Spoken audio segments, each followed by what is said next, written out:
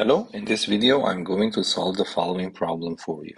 This is a problem on the topic of complex numbers basics.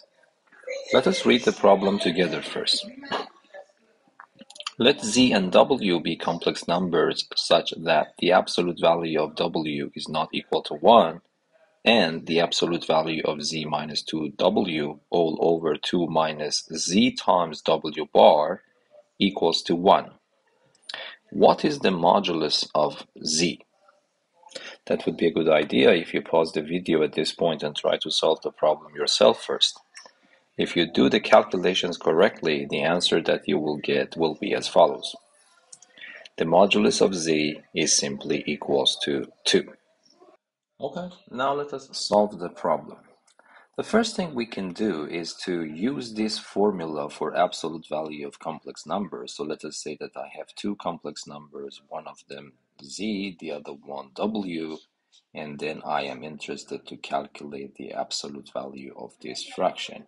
We know that we can do it in that way. We can write the absolute value of the numerator, and then I can write that and then divide it by the absolute value of the denominator. Okay, so I want to use this for, uh, relation here, and then I can split this one absolute value to the absolute value of the numerator and the absolute value of the denominator. Okay, so this becomes absolute value of z minus 2w over absolute value of 2 minus zw bar and then this is supposed to be equal to 1. Of course, this fraction is equal to 1, so it means the numerator of this fraction should be equal to the denominator of the fraction, yes?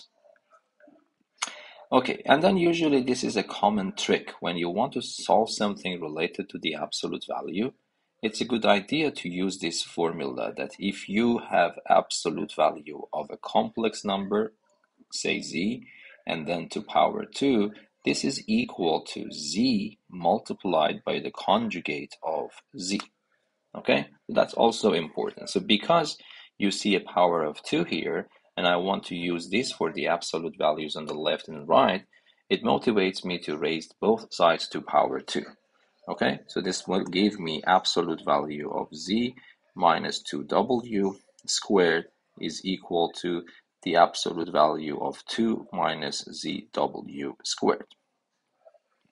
But now, absolute value of any complex number to power 2 is the complex number multiplied by the conjugate of that complex number. So here, the absolute value of this complex number is the complex number itself multiplied by the conjugate of the complex number. And I will do the same thing for the right hand side. So the left hand side can be simply written as z minus 2w multiplied by z minus 2w totally bar. On the right hand side the same, so 2 minus zw bar multiplied by 2 minus zw bar and then totally bar. Yes? And then of course we have formulas for uh, conjugate. For example, if I have two complex numbers, z1 minus z2, and I want to take the conjugate of this difference, I can do it separately. I can take the conjugate of the first one, I can take the conjugate of the second one, and I can subtract them. For example, we also know that if I have a complex number, I conjugate it once, I conjugate it another time, it will go back to the same complex number here. And we also have it for multiplication. So if I have two complex numbers, z1 and z2, I multiply them. I want to take the conjugate. This is possible to conjugate separately, okay? So conjugate z1, conjugate z2, and then multiply. So in other words, it doesn't matter if I multiply first, then conjugate, or conjugate separately first, and then multiply. Okay, so using these ideas, I can actually continue a little bit here. For example, this conjugation here goes to z bar and then minus 2w bar, but 2w bar can be also viewed as 2 bar w bar, but 2 bar is equal to 2 because of 2 is real, so its conjugate is equal to itself. Okay, so I will use that. So the left-hand side can be written as z minus 2w multiplied by z bar minus 2w bar. On the right hand side, I have 2 minus zw bar. The second one, So the bar goes for 2, so it becomes 2 bar minus zw bar bar. Then it 2 bar is just 2 minus the, the other one becomes z bar times w bar bar. But because of that rule, it is just simply 2 minus z bar w. So 2 minus z bar w is the answer for the second conjugation. 2 minus z bar w. Okay, now I will try to multiply them term by term here. Here the same, but remember, when I multiply z by z bar, because of that formula, it becomes absolute value of z squared. Okay, and then the next one, when I multiply, it becomes simply minus 2zw bar. And then I will multiply this one here. So this becomes minus 2wz bar. And then finally, when I multiply this by that, it becomes positive 4. But w times w bar, according to the same relation, becomes the absolute value of w squared. Okay, so this becomes plus 4 the absolute value of w squared. On the right hand side, I will also do the same thing. 2 times 2 is 4. Then I have minus 2z bar w. Then I have minus 2z w bar. And then finally, when I multiply this by that one, first of all, this minus sign and that minus sign becomes positive. Then z z bar becomes absolute value of z squared and w w bar becomes absolute value of w squared. So I can just simply write it as absolute value of z squared times absolute value of w squared. Then see what happens. This minus 2z bar w and this minus 2z bar w are cancelled. Minus 2z w bar and minus 2z w bar are cancelled. Now what I will do, I move these two terms to the left.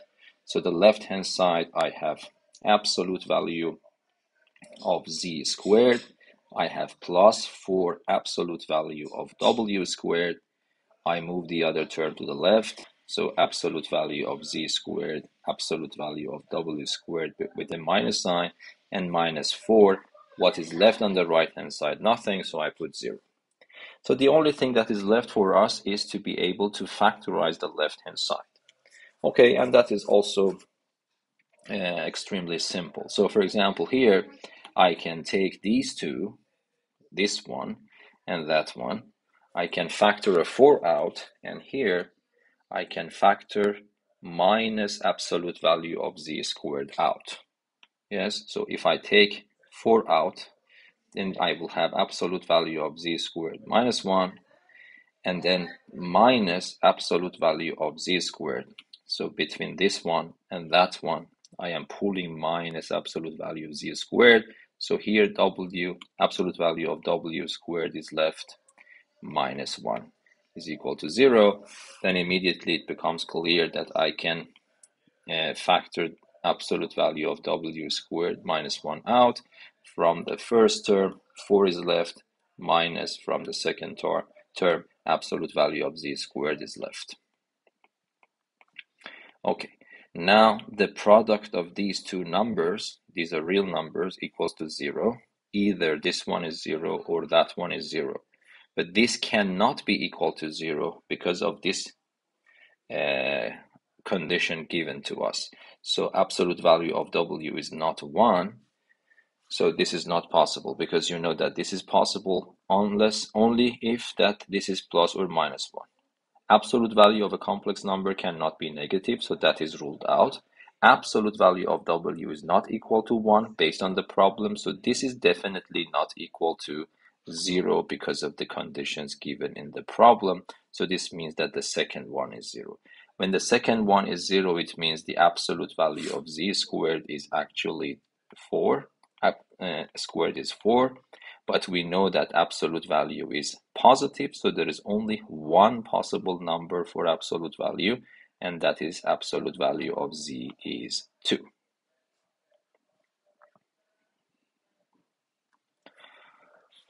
okay so i hope that this video was useful for you. If you really find it useful i would appreciate if you can like it and subscribe to my channel this is the best way that you can support me. Until the next video, be safe and goodbye. Thank you.